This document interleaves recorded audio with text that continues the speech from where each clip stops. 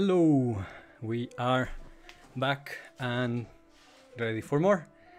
So, oh yeah, so I, I I'm gonna work today in a different computer, so uh, you might not see uh, the same exact display, but this should work. So as in the previous one, I'm gonna start off in the UniProt. And this time I'm probably gonna be picking up a new new protein. So be ready. So well I don't know how many of you are there. I should set up my mobile phone to monitor the situation. If you have seen all any of the previous videos I'm I welcome you back. I hope you benefit from what we're gonna see today. And yeah so this is yeah this is this is missing my basket. So for purposes of the current example i'm gonna go for a classic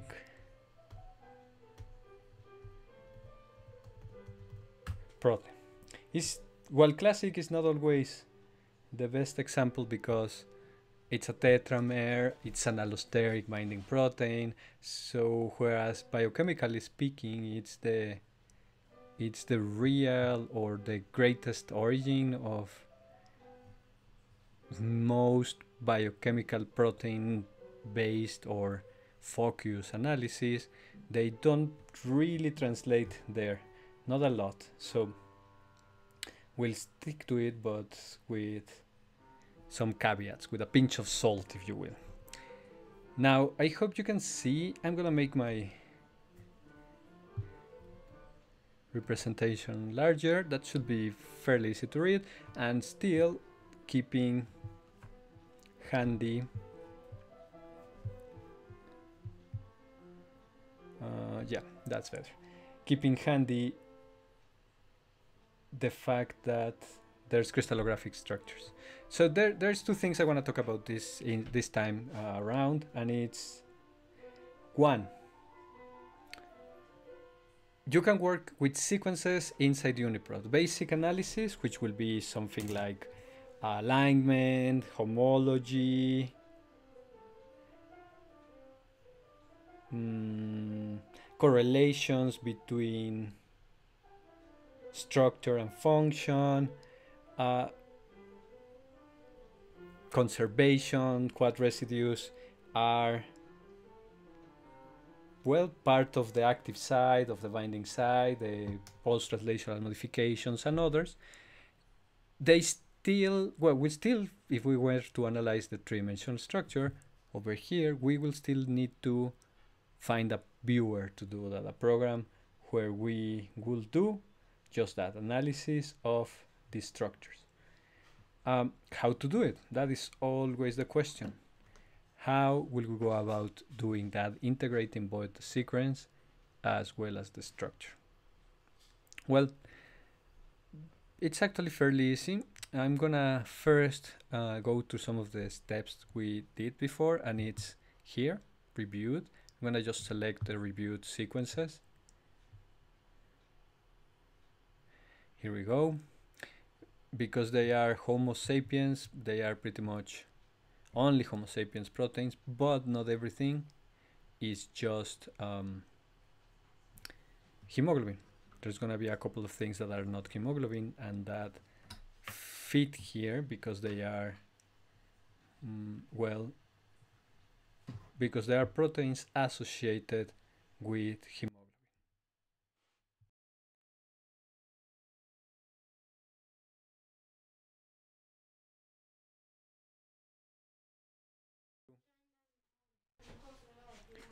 Uh, no, leave it like that, just not too loud. Sorry, I, I'm taking care of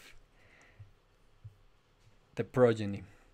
So what I'm gonna do is just stick to these three proteins. Here in this browser, I already modified this in such a way that the sequence, the codes, the gene names, and the protein names, the organism length, and availability of 3D structures is shown you will notice that for hemoglobin beta and alpha, the enrichment of these structures is quite large, whereas for other subunits, epsilon, zeta, delta, even the gammas, 1 and 2, there's few structures, if at all. Luckily, or probably just because the proteins are really interesting, uh, there's structures for all of them.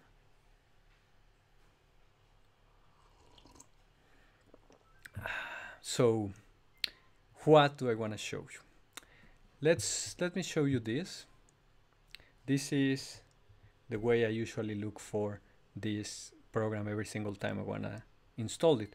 UCSF for University California in San Francisco, Chimera.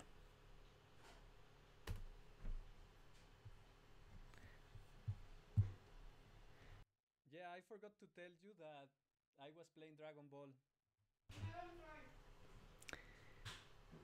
In general, just go to downloads and you will find a version that you can easily use. I like Chimera because it's very flexible. I, scripting is fairly easy to learn and apply, but also, as you can see here, it's available for Mac, Windows, and Linux. So nobody should have any trouble using it. Getting a license is as simple as just uh, clicking on the download and agree to the license. Everything works out of the box, and except maybe in Linux, where sometimes video drivers are an issue, you should be able to run it just straight straight away, just right out of the box, as I said. If you don't have it, get it. It should be a fairly big download, but it's totally worth it. So I'm gonna launch mine.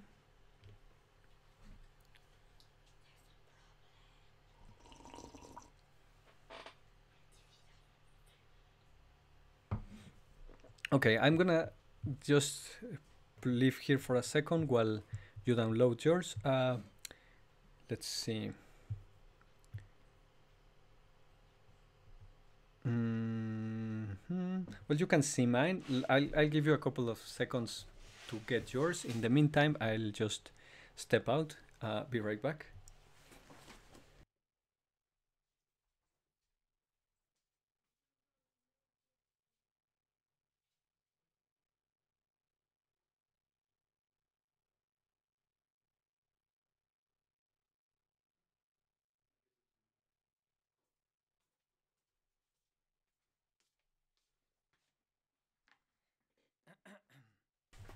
Sorry, yeah, some technical problems here.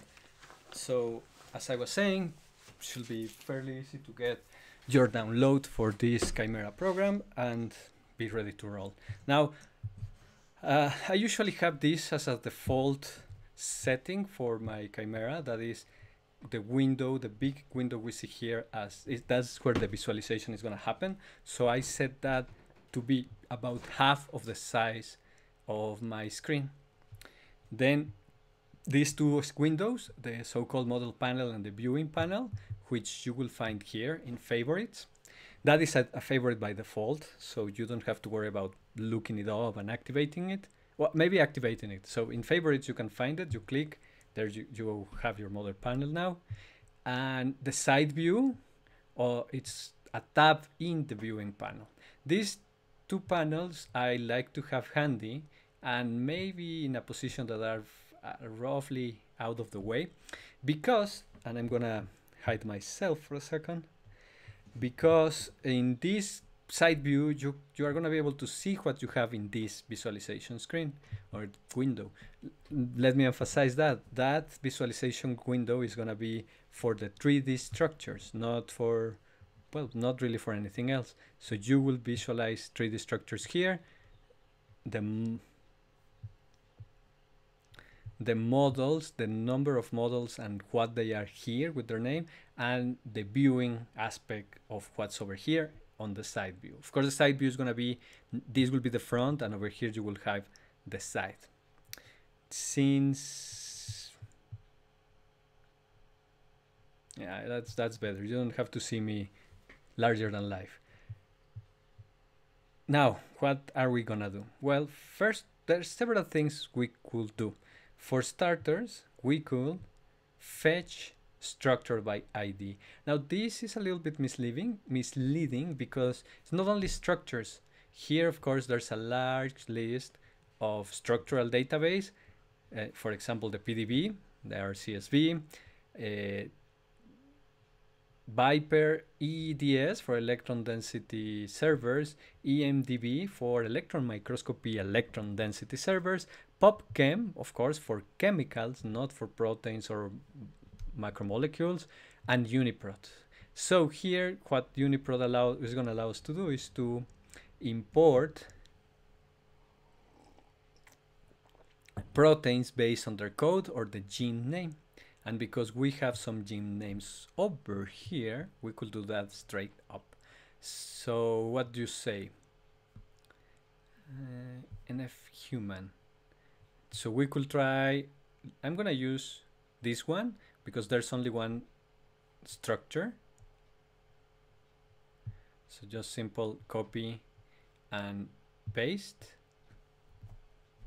And let's see what we can use. I'm gonna, if you look down here in these tiny letters, you can find ignore any cache data, which stands for the cases where you have already downloaded this structure, but you don't wanna use that one, you wanna download a new one and keep dialog up after fetch. If I am to click uh, fetch, web page, close, uh, but not help, if I click the first three buttons, left to right, the window will close. The action will be performed and the windows will close. If I click help, this window wouldn't close, but I will get another window with help. This one is gonna keep the window open regardless of which I choose. So I'm gonna go to fetch and usually down here, we should see there some information about the program working on doing what I want. And the results of my actions is now that I have a window with the sequence for the protein and down here a browser, another window, yet another window that is going to show me the annotations that the UniProt has for this protein. Now that is very useful because even if I don't have the structure, now I have a way to know what's on the web page, what's on the database for this protein, and according to the sequence. So as you can see by selecting, oh, that is odd. Hmm. By selecting that information within Chimera, now I have the sequence and I have information such as uh, the positions of the helices, strands, turns, um, conflicts in the sequence, a place where there's, there could be a post-translational modification, that is a phospho searing in this case, the metal ion binding site, the metal, yeah, iron binding site, the other one, so the histidines that are conserved, as we have seen before, the methionine that is removed, and all of these, except the methionine, is the mature protein for hemoglobin subunit epsilon, as, as it says here.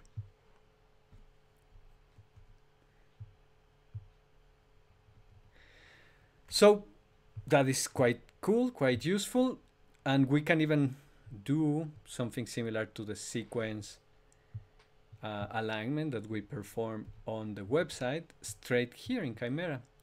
With this window raised that is selected, you can go to edit and find this option of add sequence.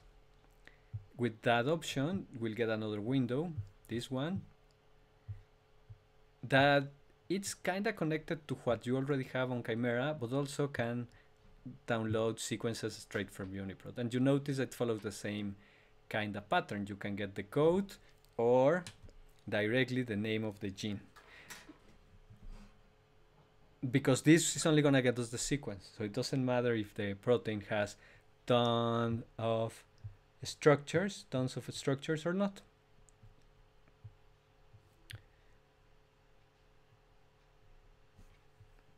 So what I'm going to do is select another one, another one of the sequences we have here. Uh, and I'm going to select this, this time the hemoglobin subunit zeta, Z. I'm gonna paste it here, not in the, the window to open the structures, as it was called, but this one that is gonna directly add a sequence to this window. If everything works, this window should grow, grow in size. And now we have a single window that can contains the notes, the annotations for hemoglobin subunit, hemog Homo sapiens, hemoglobin subunit Z, and uh, Homo sapiens, hemoglobin subunit epsilon. Mm -hmm. Depending on which one we will select, we'll get the annotations for that specific one. Notice that all of these windows can be changed in size at any given moment, and we can also use the once this window is selected, these menus over here for, for example, show the consensus. As I click on the header, the consensus one, there's a new line on the sequence alignment that, oh, sorry, I click on the one, on the wrong one, that show us a letter, a point or a dot where there is no alignment, a lowercase letter where there's sequence that is conserved but different, that is not identical, and capital letters for sequences that are very similar or identical.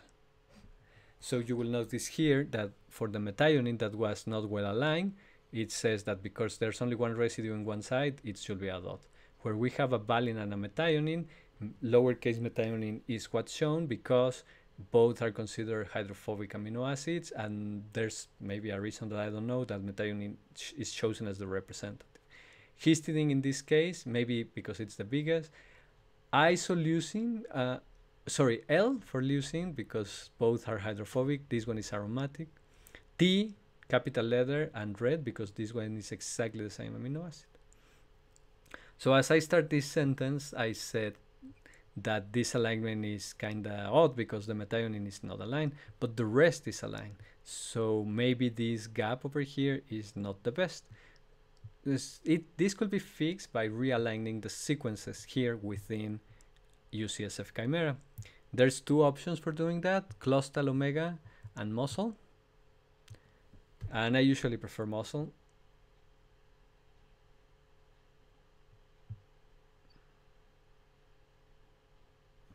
Down here we can see, yeah, it didn't improve. Maybe, no, I actually didn't catch what changes happened. This gap and this one. Oh, sorry, this one.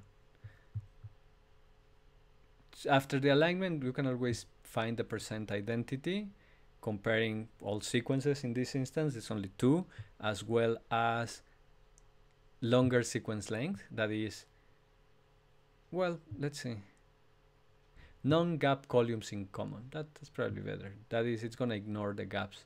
So hemoglobin epsilon is identical against itself. It's 40% identical against zeta or set. This reply window is a window that is going to show everything that is going on in the program. So far, this is the only action that happened within the program that gave us back information you can always select what's in here and copy it to another place or just clear it and straight up save it. Why these buttons are important here? Because if you are running any of these analysis and you want the data for later, well, this is exactly what you will do with the data. Save it, copy it and paste it elsewhere, or just erase it. Uh, here, I, I just closed it, but that is not, it's relative, that is, it's closed but if you go to the main window and call in favorites the reply log, there it is, still with the information. This window has to be intentionally cleared. Or if you close the program, it will be clear. But it's this information won't disappear if you just close the window.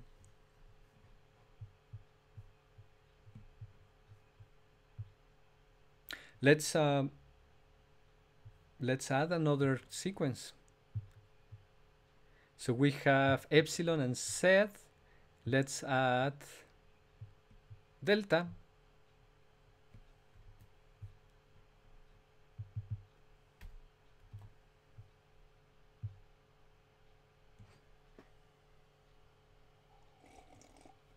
Mm-hmm.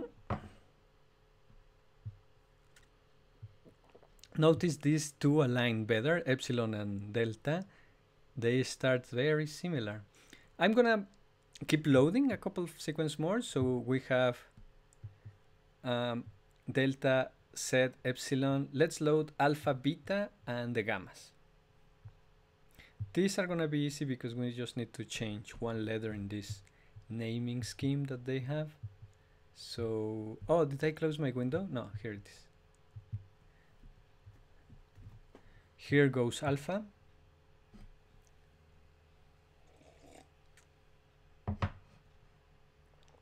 Okay, now let's do beta. And of course, if I'm mistaken in the code name I'm using, the program is gonna tell me that I made a mistake, not gonna be able to load much. So G1, and actually those errors are uh, displayed in a very cryptic manner. I'm gonna just make one of such such uh, one of such mistakes so that you can see the result. According to the UniProt, there's HBG1 and 2. I don't see HBG3, for example. I'm gonna make that mistake on purpose and so that you can see the error message. Um, yeah, here we go. So as you can see, because of the way it's written, it's kinda difficult to understand. So index error, list index out of range. File, uh, and here is the Python script that do, do this in line 82 in map uniprot name ID fields line split. So, so this is actually part of the code. What line is not being let's say, successfully answered. But if you try to understand what you did wrong, it's kind of difficult. And what this error means pretty much is that this information is somehow incorrect. It, the program doesn't know if it doesn't exist, just that it cannot get it. So I'm going to return it to the actual number that we want, which is number 2.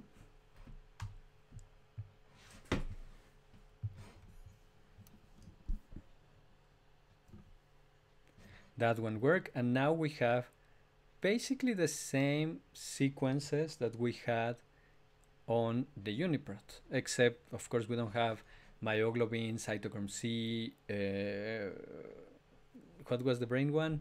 Okay, I can't believe I don't remember the name but the brain globin.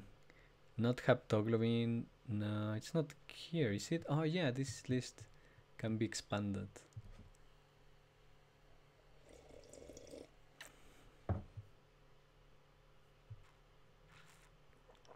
um? No, that was not the one. Oh, there's a couple of subunits that I missed.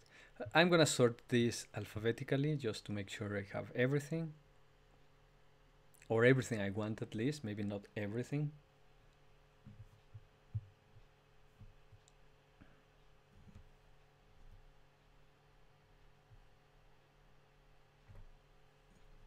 Alpha adenosine, cytoglobin, neuroglobin, right?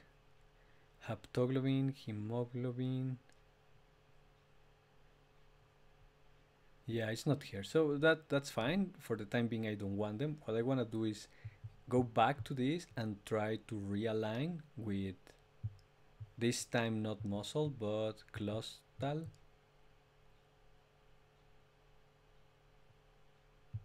I'm leaving the default settings because I don't think we need anything else, but just so that we get a very decent alignment. So for how to evaluate an alignment? Well, we need at least to know something about the protein.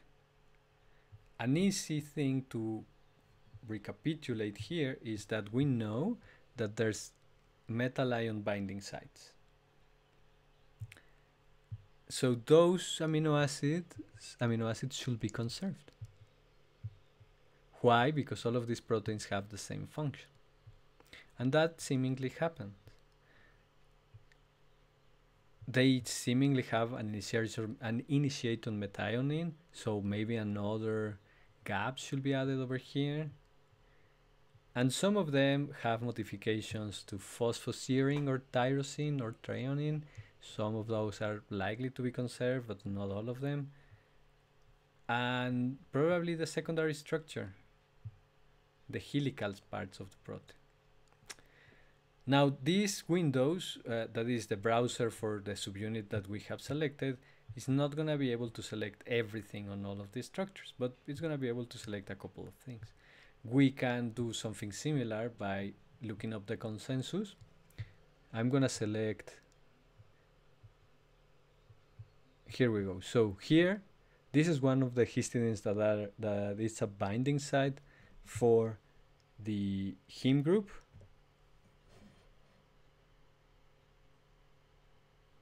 And then if we look up and down this column, every single one of these proteins contains that histidine. I'm going to select the other one and the same is true. Not only you can see that, but up here we have the capital letter H in red. That means that residue is absolutely conserved.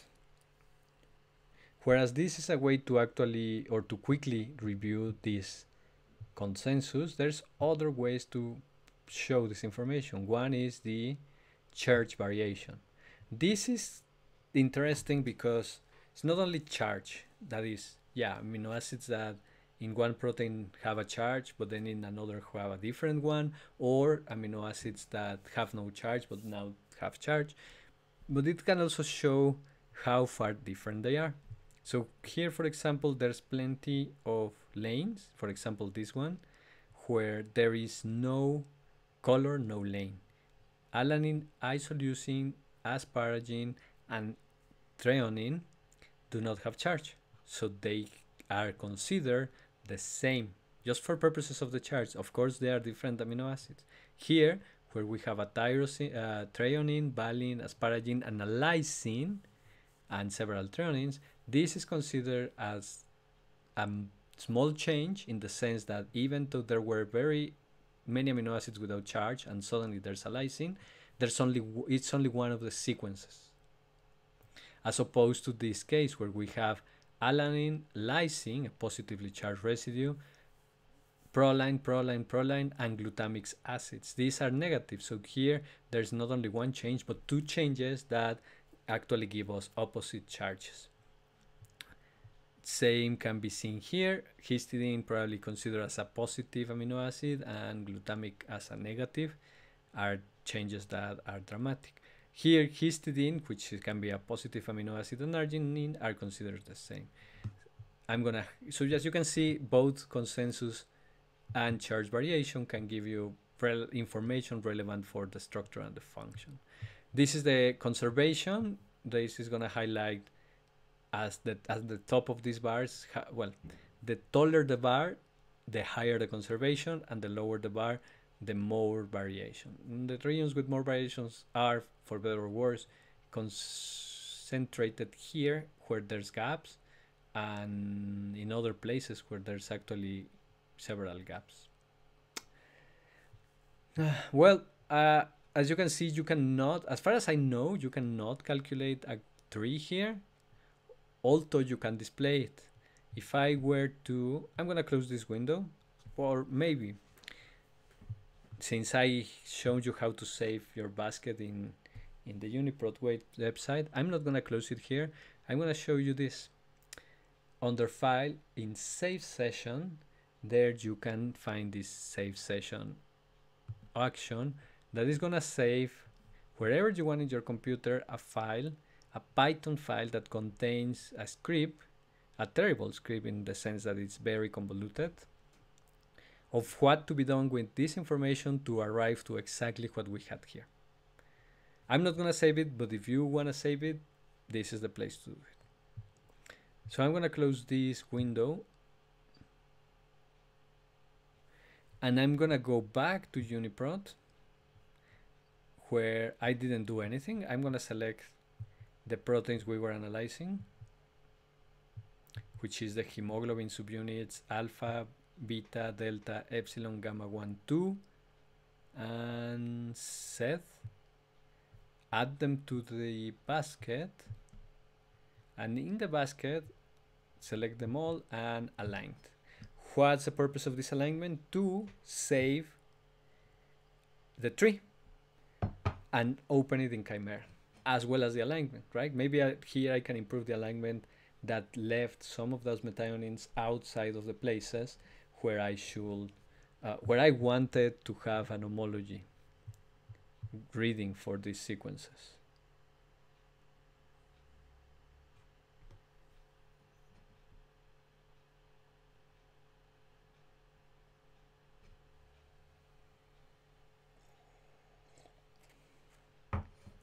So here we're back at this window.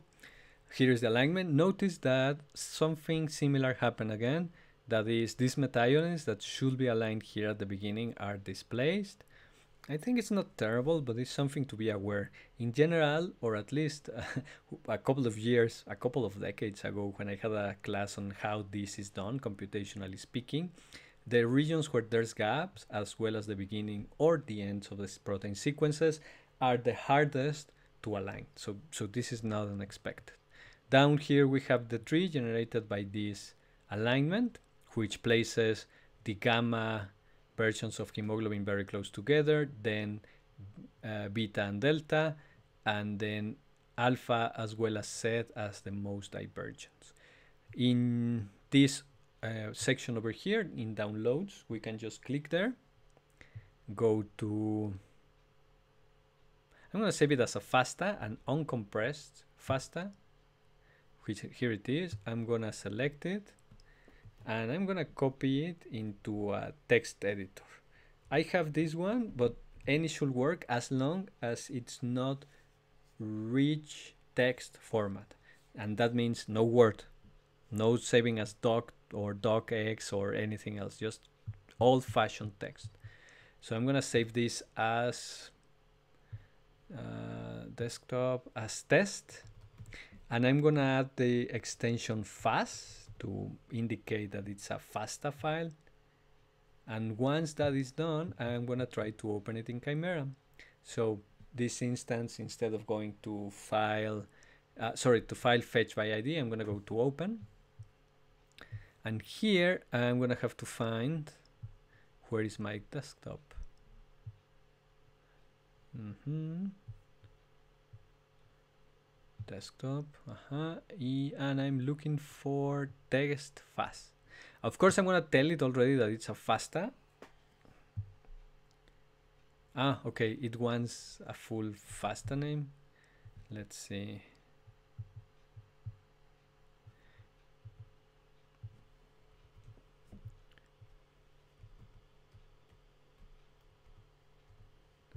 Yeah.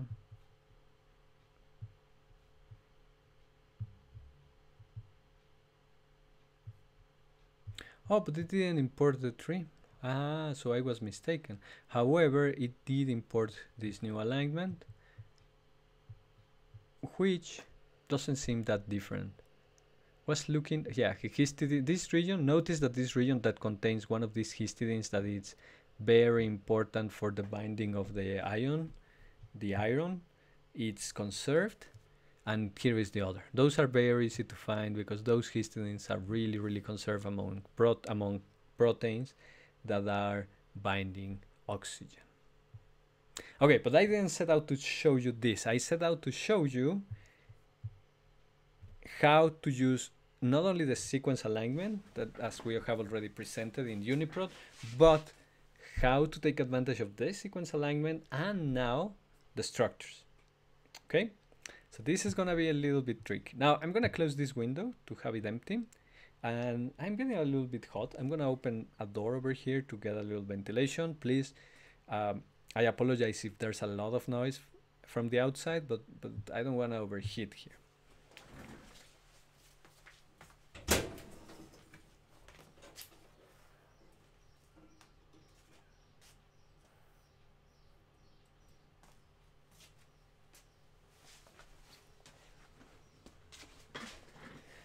Okay, back. So first of all, what do we need? We need the structures. And this time, because this search has already given us the sequences we need, I'm gonna do another trick here. And I'm gonna go for simple in this case. I'm not gonna, well actually, given that all of the hemoglobin proteins or subunits except alpha and beta have few prote few structures, I'm um, I'm gonna omit those two.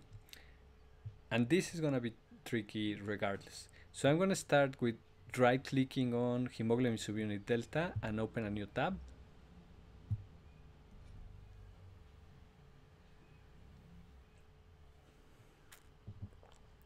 And gonna go straight to structure. So as you can see, these are the two structures reported and even just what we see in the colors, there's four subunits. And you can also intuit that by just finding this. Oh. Uh-huh. Yeah, I don't know how to use this well enough apparently. Yeah, better. Uh, just by finding these ends of the proteins that are not connected between them. This is going to be always the case for these proteins because hemoglobin in humans is a tetramer. So in general, these are going to be crystallized as tetramers. I don't think that there's any case where this does not happen. So we have to deal with that. Uh, I have said before, maybe not in this video, but in others, that the resolution does not mean quality.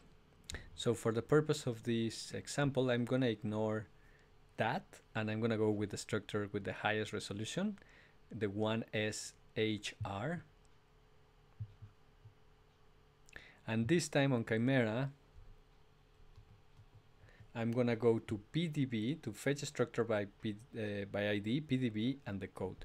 I think it doesn't make any difference if you use lowercase or capitals, but I'm gonna stick to capitals because that's the kind of person I am.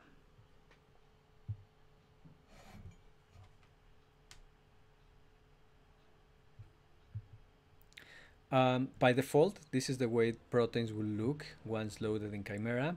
I personally like more color, just just to see them, not not for any particular reason. So I will go to presets, first interactive one ribbons, and that changed the color, but I don't like black background, so I'm gonna go to presets again, and this time publication one, silhouette rounded ribbon, and this is more or less something that I like. I still will modify it, but not now, just, just this is just for show. Now how to know which one is the actual hemoglobin. Uh, which one we're looking for? Delta, right? Because if this is a tetramer, and if you remember your biochemistry, that means that there's alpha or beta and delta. Well, you can go to tools, sequence, and then PDB UniProt info because this structure was downloaded straight from UniProt, it's tagged, so to speak, as, as if it belongs there. So you can click on it on the PDB UniProt struct, uh, info.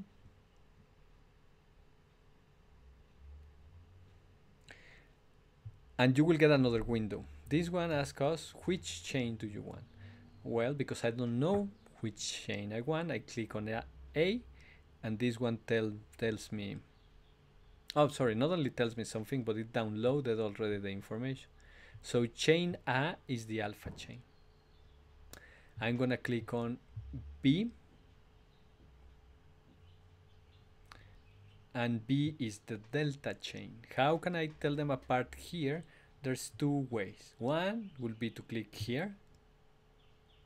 And I don't know if you can catch it but back here uh, I'll show you later.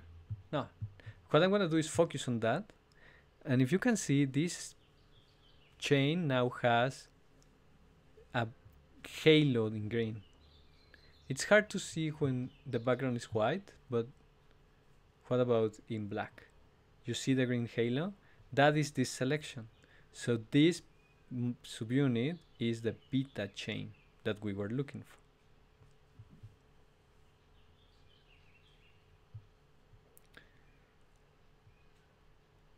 So if this pattern is conserved, A and C are gonna be alpha, and B and D are gonna be beta.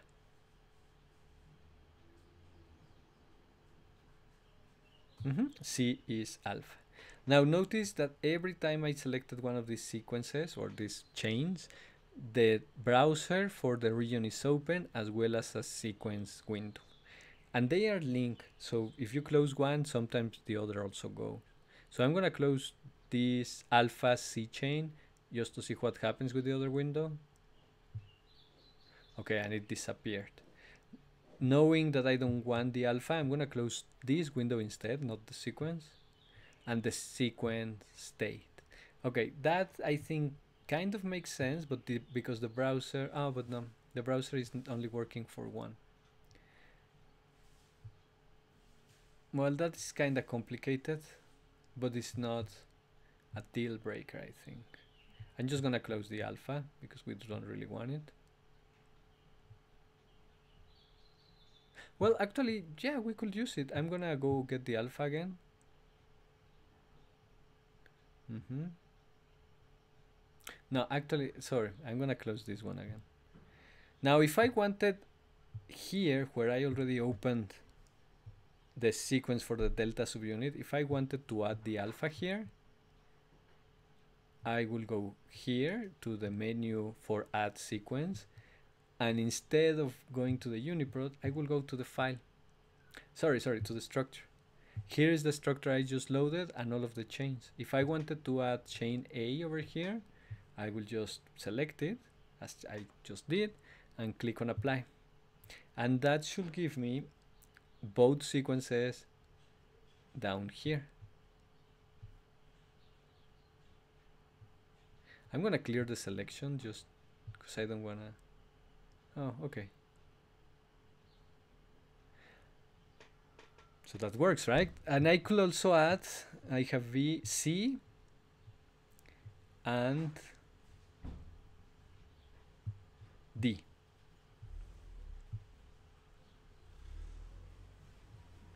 Now, what I have here is the sequence for the four subunits in this structure, two A and C that are the alpha subunit, and B and D that are the delta subunit.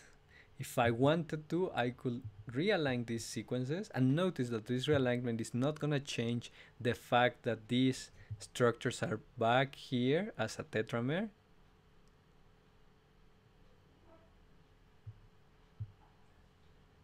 Tetramer and oligomer.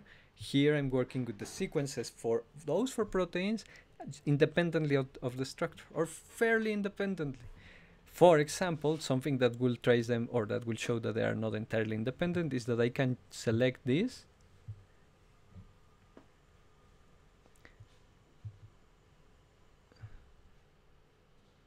and I can locate now a histidine here. One of the histidines important for the oxygen binding and I could do it in the other structures too. Oh, I did my selection wrong somehow. No, no, no. I'm to select everything and hide the spheres. Sometimes this process can be complex, but here we are. I'm to try again.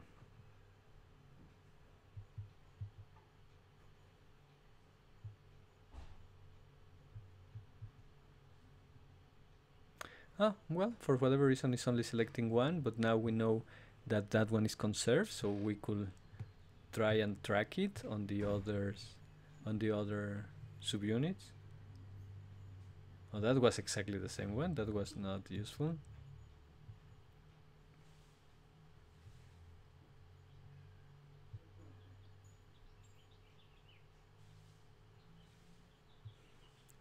I'm not entirely sure now if this is working or not.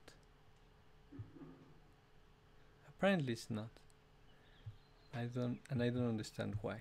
Well, sometimes that seems to happen, that this is uh, disconnected from that. But in this instance is for the best because we can align and check what the structures say. now this is something that sometimes is really difficult to explain in another way. Is that the, the gaps over here? If you remember, all of the sequences that we aligned in UniProt and in Chimera, when we got the sequence from the UniProt, had a methionine. And in none of these, well, actually in one of the sequences, the methionine is there, but it's with a red square and it's absent in the others. Usually this information, this red square, comes from the PDB itself. And it means that that residue may have been there in the protein, but in the crystallization, in the st structure interpreted from the uh, X-ray diffraction, that residue is missing. And it's missing over here. Totally missing. Not not it's not known if it was supposed to be there. Here it was supposed to be here in the sequence, but it's missing. Okay? So these are missing, they are not aligning. And over here in the gaps, now we can do something that we couldn't before, and it's go take a look at what is happening in these gaps.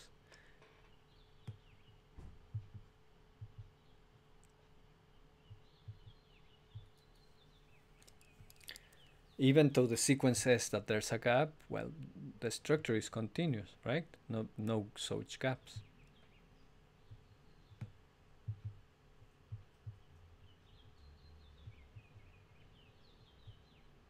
or at least none that we can see. Usually gaps where there's missing structure, you see lines ending and dotted lines between them. So what this means is really that one protein is bigger than the other and when you align the sequence, because there's a difference in size, it appears as these gaps. But there is no way to a priori distinguish that from actually regions that are actually missing from the structure. So sometimes that that requires a little bit more digging into what's going on in the structure. So I'm gonna close this one and let's try to find another example. Oh yeah, so to close everything, there's two ways. You could close Chimera, or if you are gonna keep working with Chimera, you can go to File and Close Session. And here session means pretty much everything you have done in Chimera up to this point. You can save your session or close it. And if you close it, only the information that you had loaded before disappears. It's pretty useful when you don't, you don't want to just close it. You just want to clean it and start it over. Uh, let's see. I'm gonna go, oh yeah, this is not my search window. I'm gonna go back into the search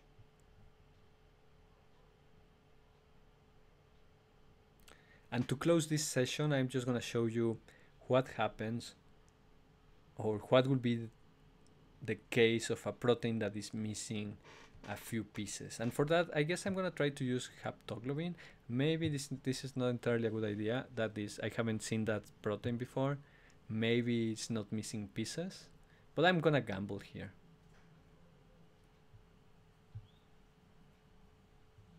Okay, it looks uh, it looks pretty complete.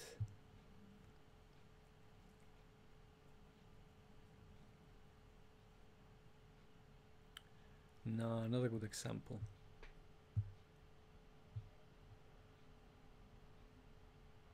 Well, proteins as big as this one, oh, of course, doesn't have a structure. That is common.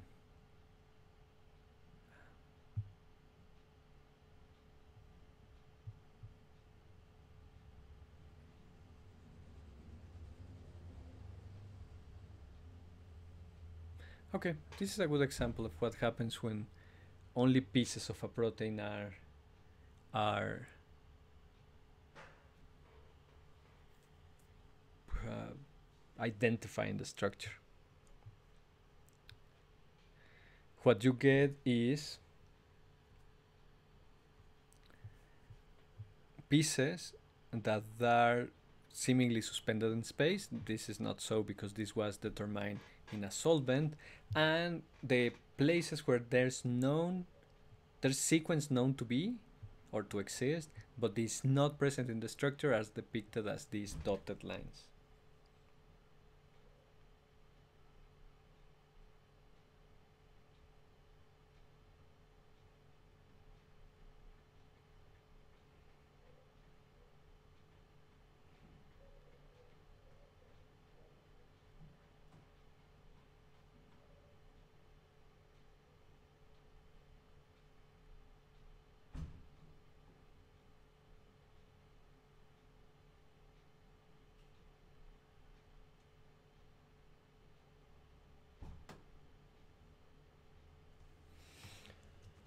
Sorry, I need to make my way to access the chat a little bit easier. These are all NMR structures, which will be difficult to see on camera, and, and I'll cover that in a future episode. Um, let's see.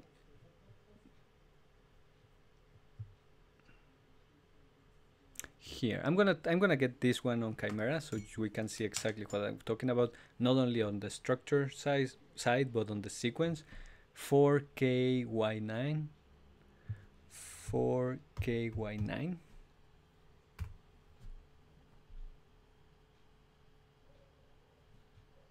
Oh, this is gonna be a big one. Well, big. That was a megabyte. So here we go.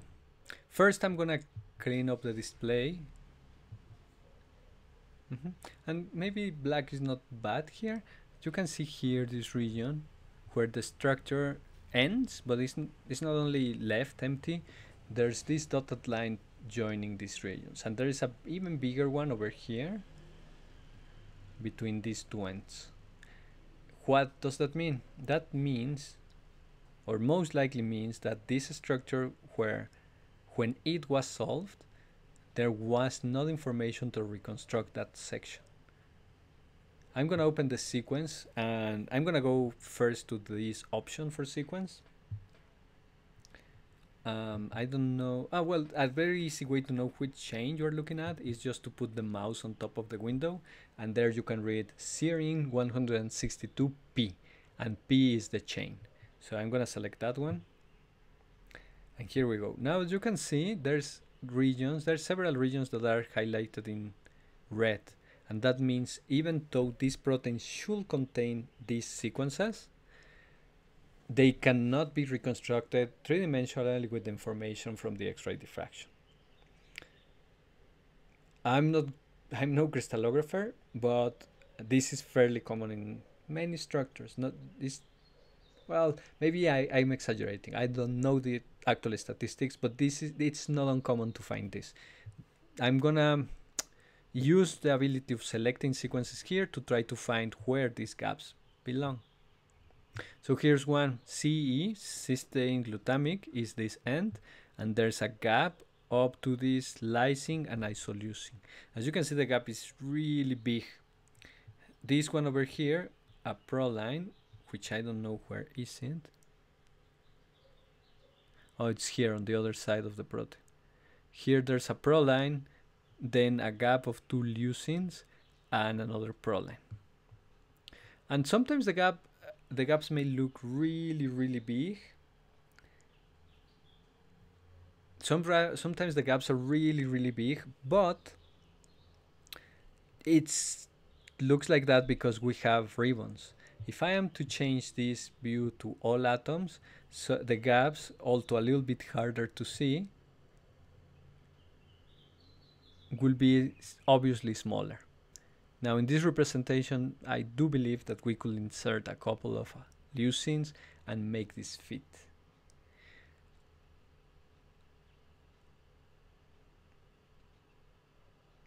Others, well, I mean, you could do it manually, add, add two leucines and minimize them, energy minimize them and reconstruct that region.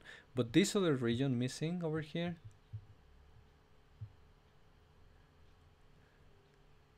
is not only bigger, but encompasses 2, 4, 6, 8, 10, 12, 14, 16 residues. So this is likely to be a loop, but it's big. So reconstructing this by eye will be just probably even worse than guessing numbers for the lottery. So I'm not gonna do it. And, and later in a few episodes, we should probably cover how to reconstruct uh, this type of locations, this type of missing sequences by using information from other sequences.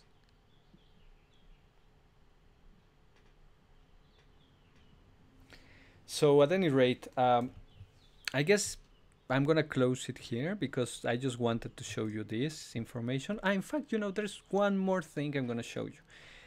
To get this sequence window, what I did was go to uh, Tools, Sequence, and Sequence. So I got the sequence straight from the structure file. Okay, this sequence came struct from uh, straight from the structure file, and it contains the information of where are pieces of sequence that are missing. Now I'm gonna select this time the option for PDB UniProt info. I'm gonna select again chain P.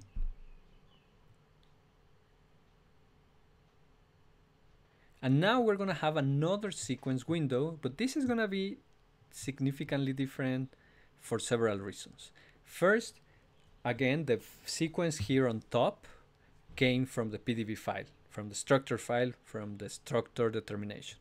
And down here we have another window that it's obviously larger, and this one contains the sequence for this protein, but because it comes from the UniProt, is mostly only the sequence. So everything that is known as a sequence of this protein is here. Now we have these purple rectangles that what are trying to indicate is that everything that is in purple is something that it's in this sequence for this protein for human but it's absent from the structure. Previously we didn't have this information that is what's absent from the structure because we didn't have the structure but because now we do that information in display here. And as this is something very common for proteins that are large. And what is large? Well I will say that roughly about 400, 500 residues, it's a large protein. It's very hard to crystallize proteins. So this is something that's going to happen frequently in larger proteins. Sometimes even in small proteins.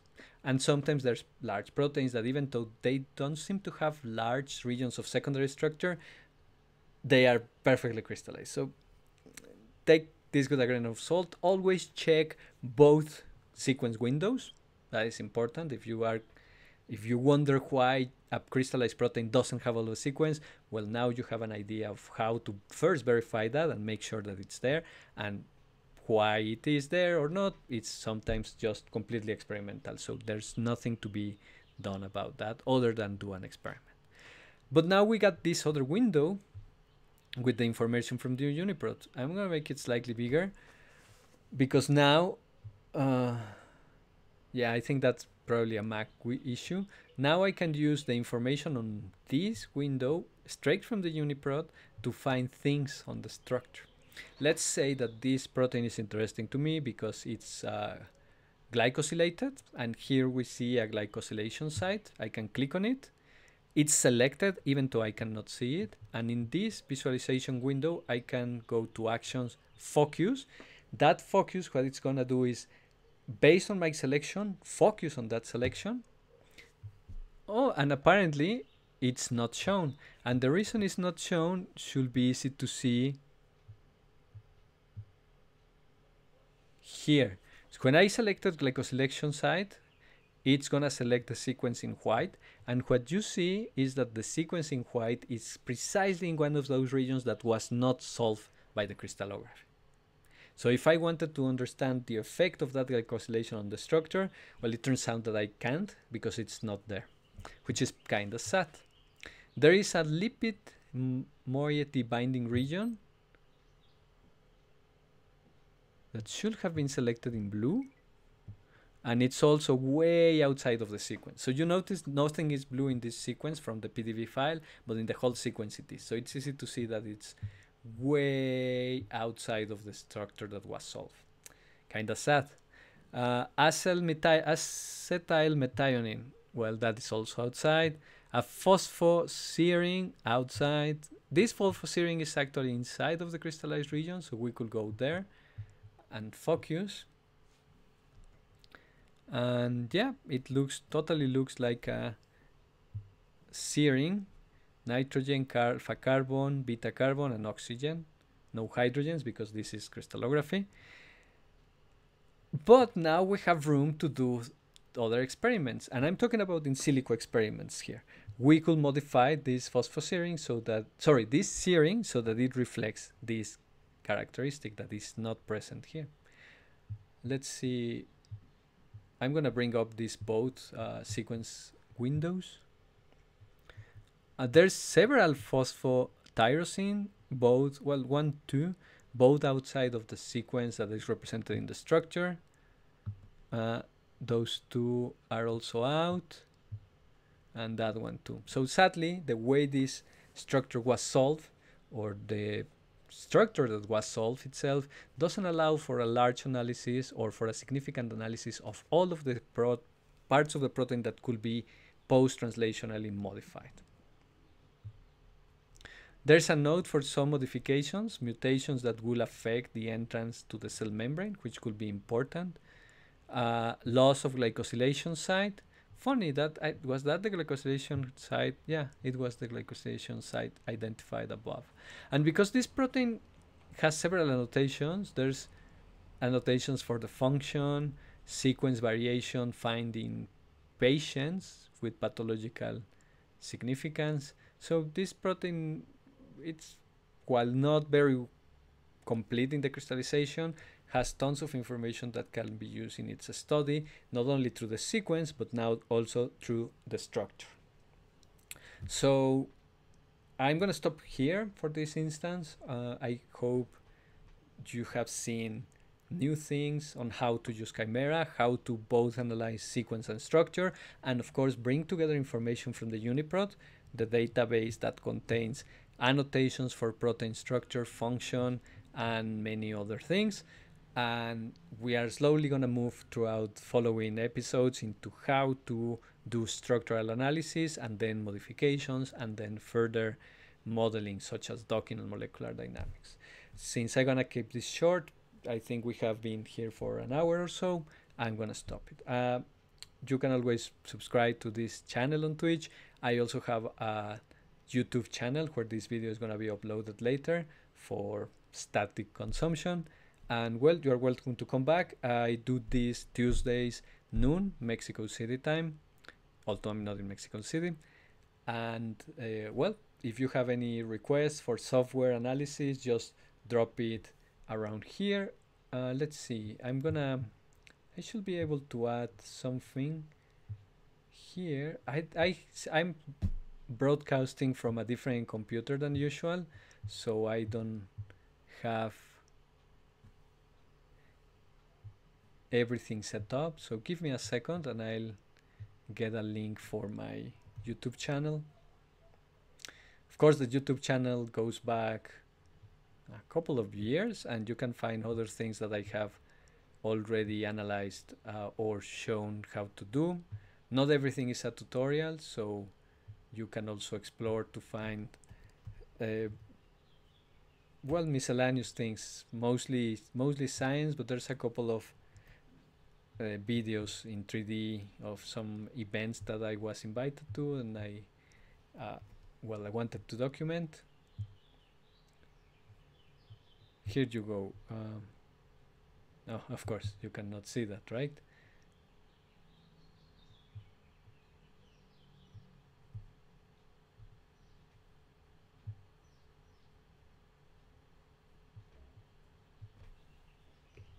there we go. I hope you can see that that that's my channel. Uh, does it show? I just had to I just created a quick impromptu banner. Does it show? No? Not yet? Okay good. Thank you for the feedback in the chat guys. It's been a pleasure to have at least one viewer. And well uh, see you later. Have fun. Use your tools wisely and yeah, have fun. See you around.